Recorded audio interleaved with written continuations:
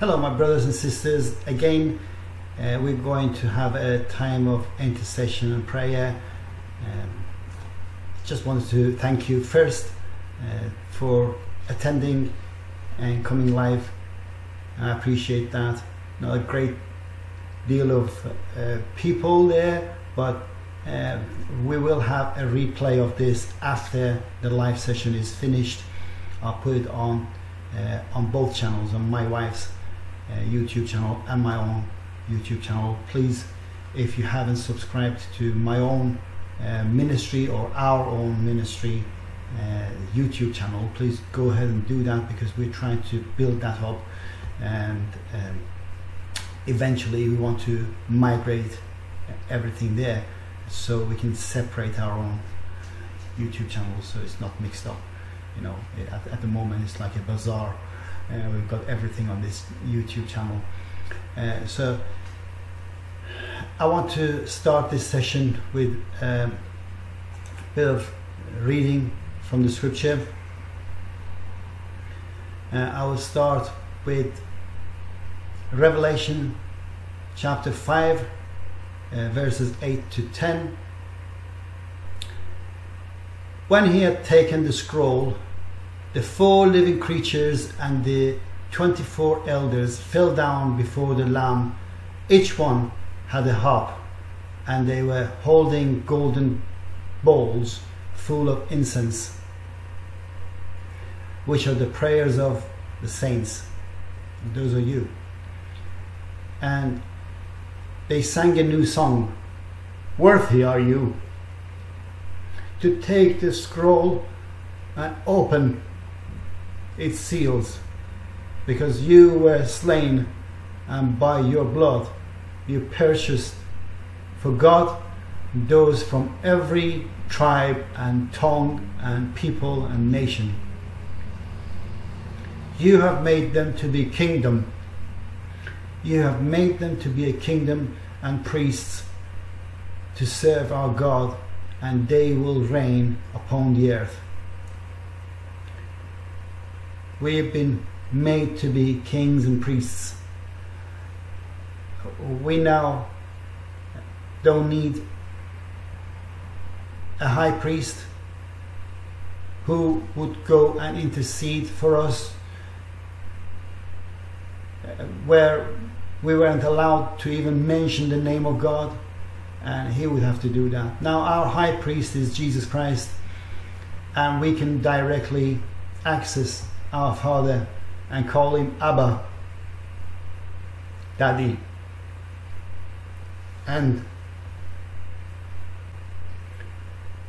through the blood of Jesus Christ, through his name, worship him and call him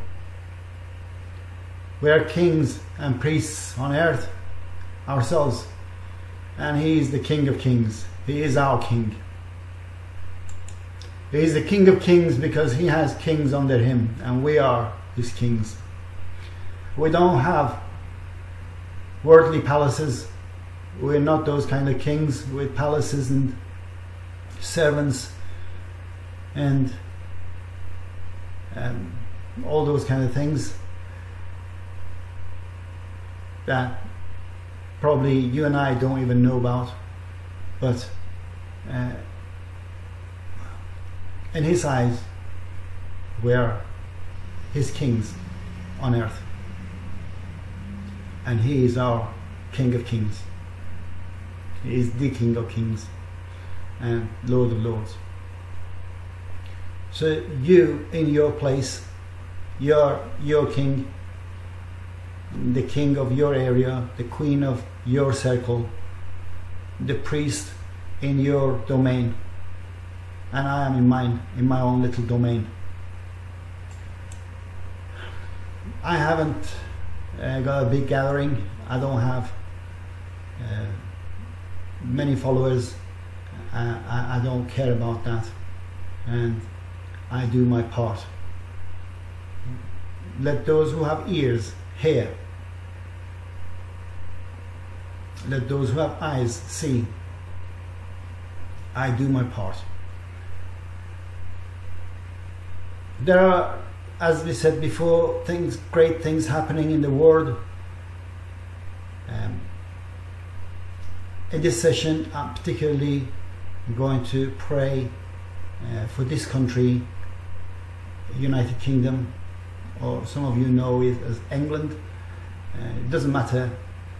Um, and I, I, I, if you're not here, uh, which is fine, and you don't know much about this country,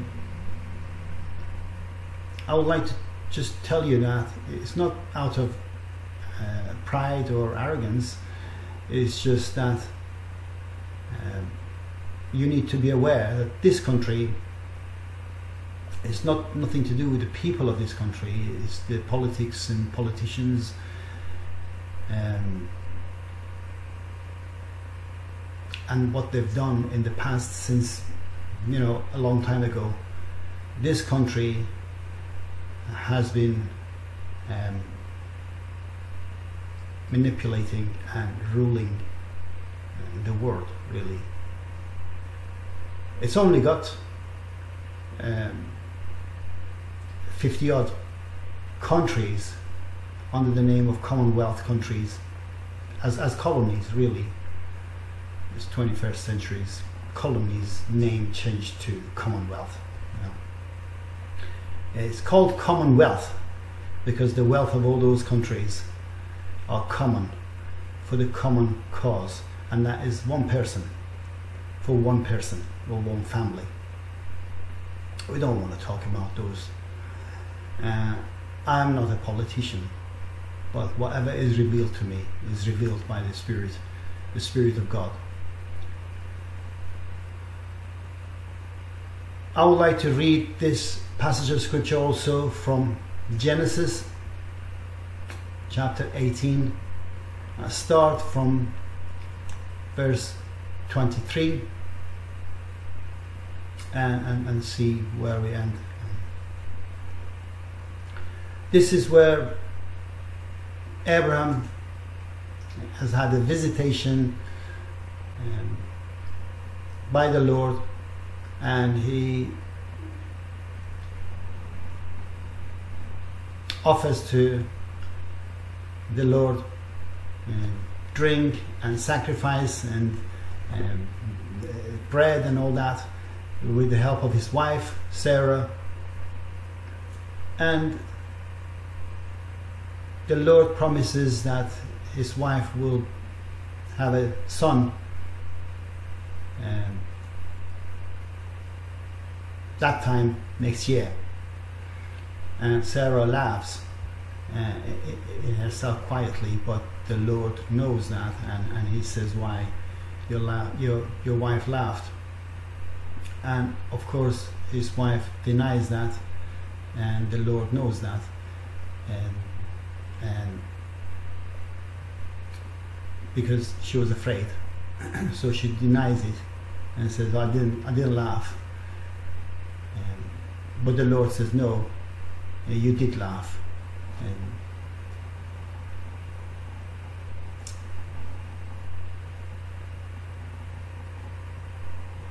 And the Lord says, because He knows what she's thinking, the Lord says, Is anything too difficult for the Lord? Now, that is the point I want to raise here right now. I want to say you have to have that mentality that is there anything too big for the Lord? Is there anything that is too difficult for the Lord to do? We are in a difficult situation, all of us, all around the world.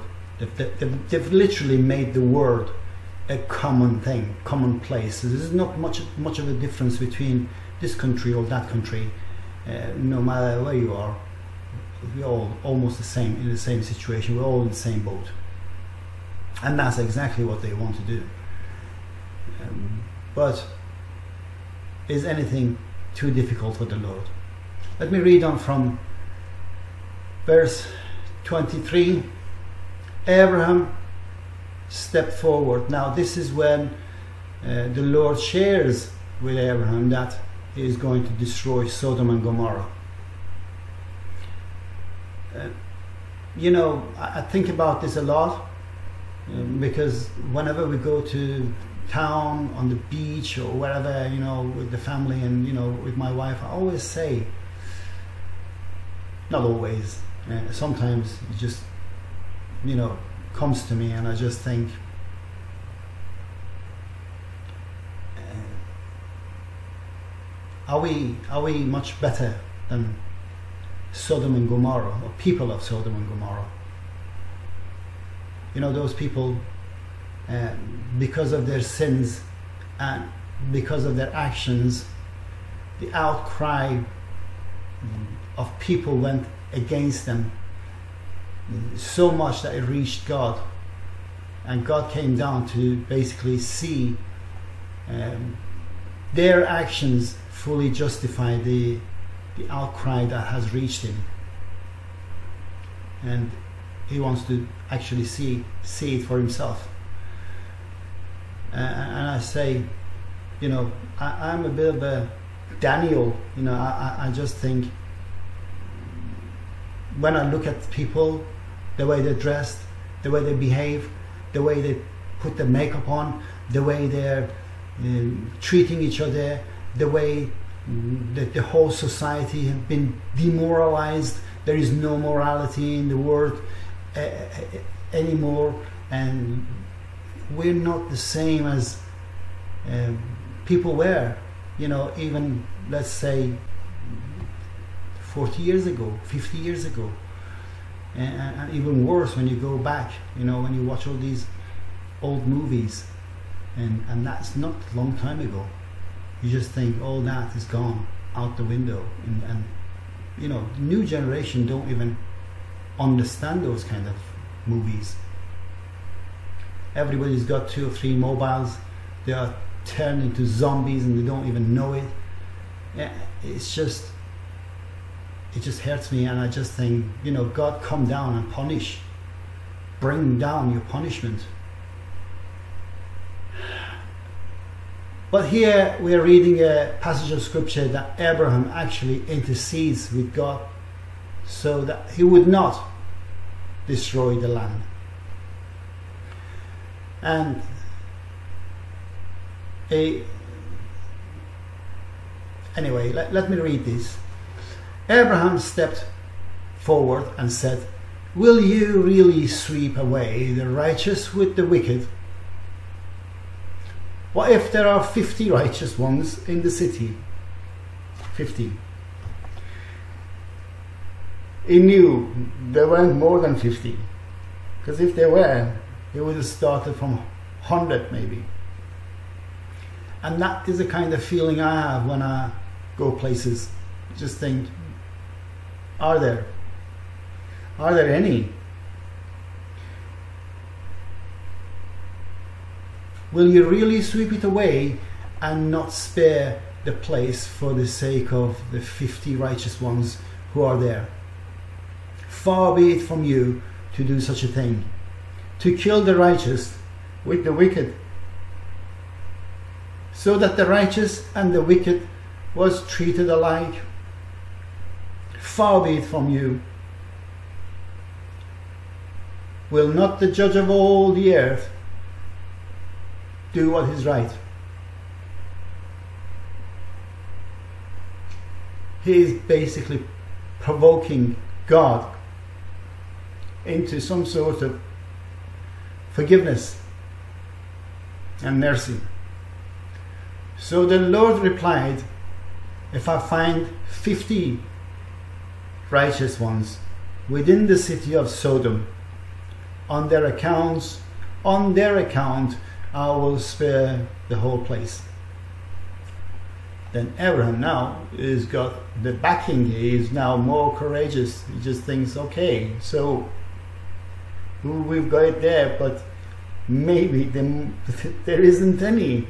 Maybe there isn't 50 people. So he keeps going down. Now he's bartering with God. Then Abraham answered, Now that I have ventured to speak to the Lord, though I am but dust and ashes, just like me. I am but dust and ashes. Suppose the fifty righteous ones lack five. Will you destroy the whole city for the lack of five?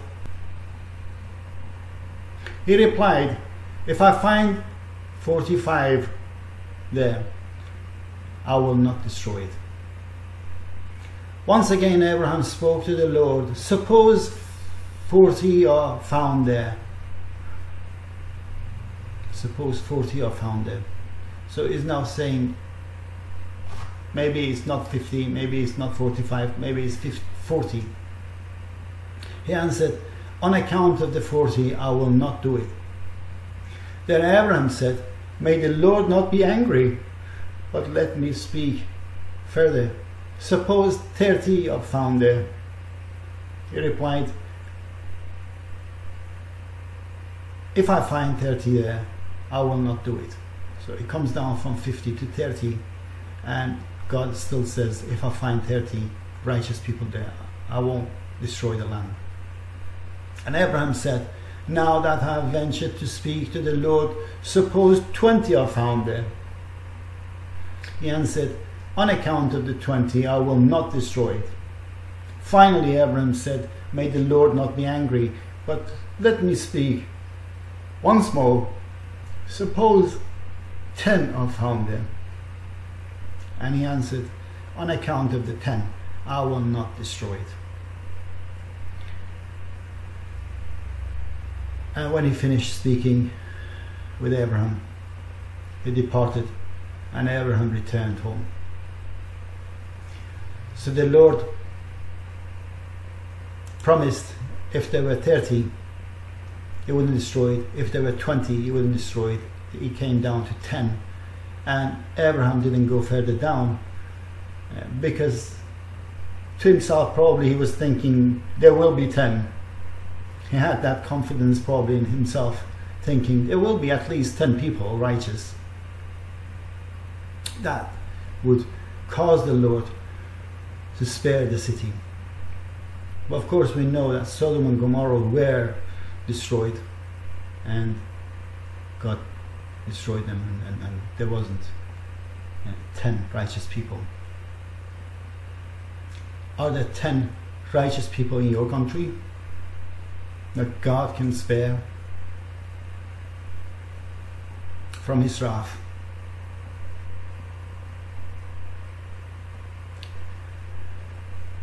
We are at a time in this country that there are two candidates running for leadership, Tory leadership, who would be the next prime minister in autumn probably. And um, when you look at them and you look at their background and and you can't listen to the news because news is always upside down you know everything they say about a person is always backward you know if they're saying somebody's bad they're, they're probably good. And if they say somebody is really good they praise them. You have to you know think twice about it because they're probably bad. And so you can't, you have to rule that out, you know, making a decision on the basis of what the media says to you. But uh, in my own um, career, wherever I worked, I discovered this one that the the elite, this is part of the elite's agenda, and this is Satan's agenda really, because uh, Satan is good at mimicking God, and he can do anything that God does, and anything that God does, apart from one thing. He, he can mimic even miracles. He can do miracles like like Moses and all the magicians that did, did the same as whatever Moses was doing, but Satan can't do one thing he can't love. There is no love in Satan. He can do miracles. There'll be even healings. But it'll be at a cost. Usually uh, at a cost. There is no love. That's just an example, but just bear that in mind because anything, anyone, anytime you want to test whether they are out of love, it is out of love or uh, there is some sort of demonic forces behind it, and you have to bear that in mind. However, one of the things that I figured that they have in their pot, in their agenda, is to turn the world upside down. I, now, I say this with a little bit of caution because I know people will probably straight away tag me as sexist and thisist and thatist. You know, there's a lot of ists these days. Uh, you, you, you have a lot of red lines to, to just limit yourself to talk about anything. Um, I am not anything ist. So so don't don't try to tag anything on me. But I know this that Satan's agenda is to put women in charge of all the big places, even countries, because that is opposite to what the Lord uh, has commanded and has created to be. God created Adam and Eve, and the way He has set in stone the principles of life. Man is the head of the family, or is supposed to be. Now, if you find the family and man is not the head of the family, you'll see some sort of uh, chaos, disorder, disarray. Uh, it's not right, it's not functioning right there is something wrong because the foundation is wrong. It's the same principle uh, that should apply to all firms, companies. I'm not saying there shouldn't be any women managers or uh, CEOs. I'm not suggesting that. But when you go around and work in different, uh, I've worked at a, quite a few colleges around this country and one thing I noticed, majority of them, the CEO, the top top manager of that place was a woman. Only one or, one or two maybe men. So they're turning the things upside down. They're turning it the other way around. And in the families, they're doing the same thing. They're giving all the powers to women. Um, equal and equality, equal opportunities is good. But when it turns to the other way, then it's not good. You know, somebody said some are more equal than the others. Yeah, it, it can't be. If, if there is equality, then it has to be equality, not some more equal than the others. Uh, so bear that in mind. Uh, we're going to pray now uh, for the right person to be elected for this country to be the prime minister, the next prime minister of this country. Uh, as I said previously my previous video, there isn't any good. So don't hold your breath for a Jesus like person to lead any of these leading countries. Um, because they won't even allow those kind of people to be in a place to put themselves forward. And they won't let them and we know the ruler of this earth is Satan. And all these earthly kings and, and rulers, they're under the domain of Satan.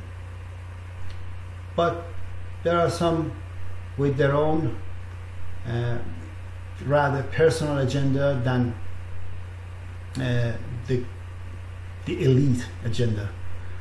And they're more maybe uh, we are hoping basically, basically for the people who are more nationalist. So after they've done what they want for themselves, they think about the people of their own country as well, at least, and, and their country.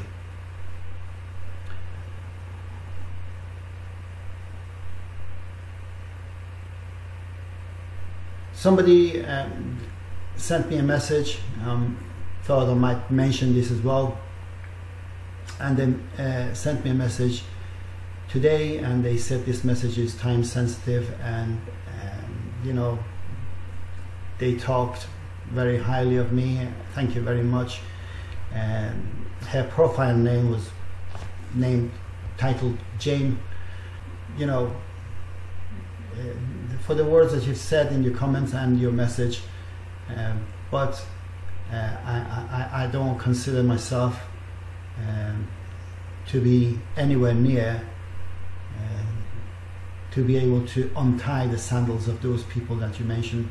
I, I'm, I'm only a little humble servant of the Lord and I do what I can.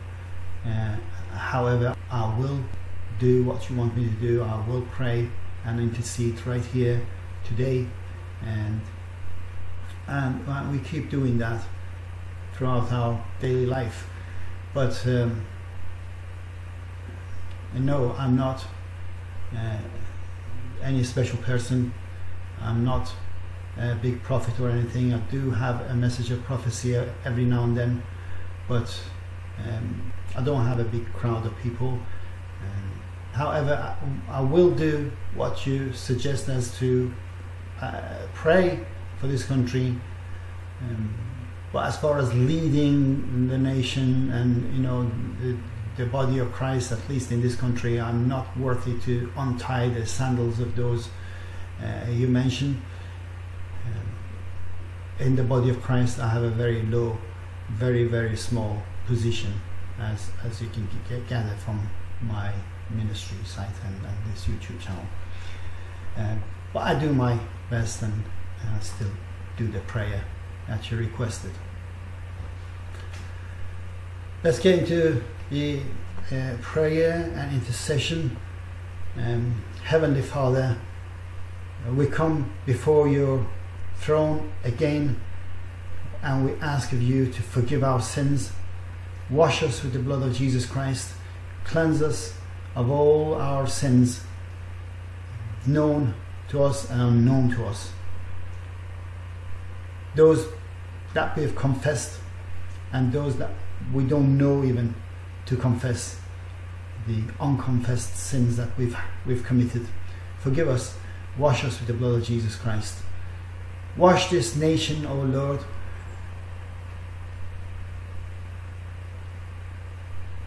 Which has taken the word to the wrong way. Wash this nation and the government of this nation. Cleanse them. Have mercy on us, O Lord. If there is even ten righteous people, O Lord, spare this country from your wrath, from your anger. Spare us. Let us have our freedom again. Let us have peace again. Let us have security through you and by you, not by the people of this world, not by the rulers of this world, because everything they give is at a cost it comes at a cost to people.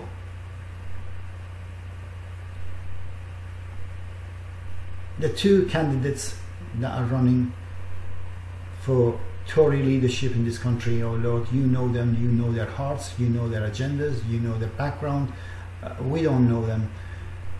Let the right person will bring about your justice to this country and to the world, will bring about um, godly um, rules and order come to power and become the next prime minister and stop their evil agendas, oh Lord. Anyone with evil agenda, anyone with evil intentions in this country, whether at the high at the highest places in the government or the lowest places in the government, stop them from moving forward. Let them be exposed. Let all the evil that is being done in the government and by the rulers, by the ministers um, of this country be exposed and revealed to the people. let them not achieve any of the evil that they have uh, on their agenda. Heavenly Father, we pray for the peace of the world. And we pray that you may intercede and bring about your justice.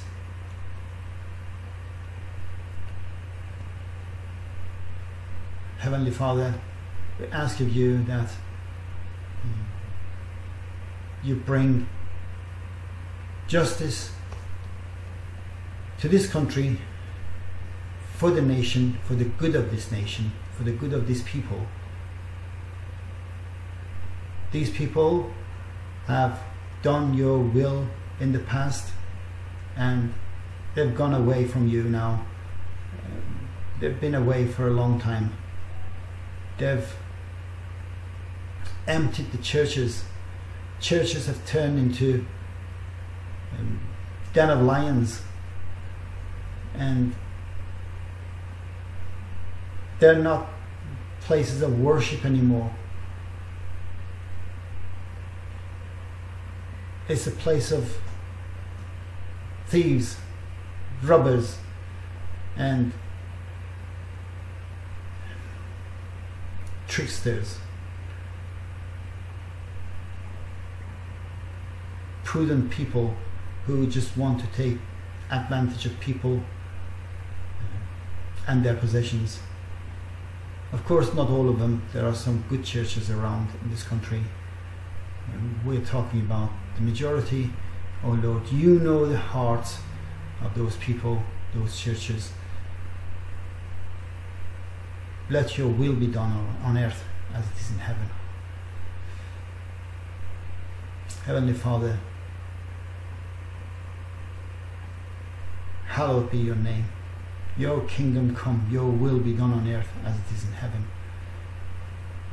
Give us this day our daily bread and forgive us our trespasses as we forgive those who trespass against us. And lead us not into temptation, but deliver us from evil. For yours is the kingdom and, and power and authority forever and ever. Thank you for everything you've given us. Thank you for every blessing you've given us, for our health, for our homes, for our um, for, the, for all the blessings you've given us. Every single blessing that you've lavished on us. Thank you, Lord. Bless us, give us wisdom, knowledge, and empower us to multiply the blessings you've given us and not to lose a single blessing you've given us, but to multiply them.